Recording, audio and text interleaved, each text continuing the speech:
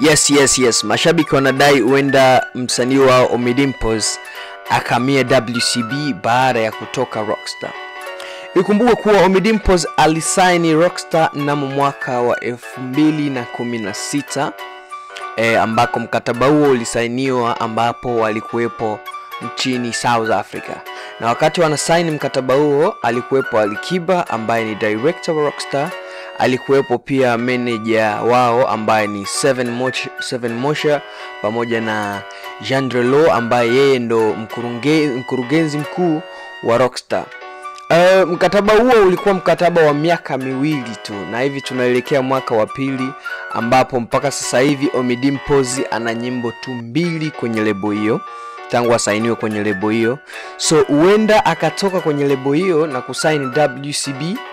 ambapo eh, WCB kiongozi wa ile lebo ni, ni Diamond ambaye alikuwa rafiki yake mkubwa sana. Huenda kwa sababu mkataba wake uko karibu hivi karibuni unatamalizika, ambao ni wa miaka miwili tu, so huenda baada ya mkataba kuisha akasaini na lebo yake ambayo ni lebo kubwa sana ya WCB, huenda akasaini huko.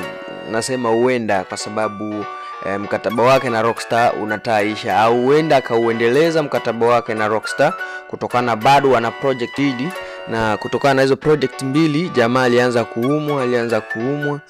so nadhani hiyo ndio inaweza kuwa reason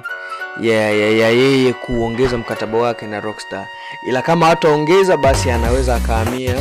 kwenye lebo ya WCD kwa sababu ni mtu ambaye anapenda sana kusainiwa.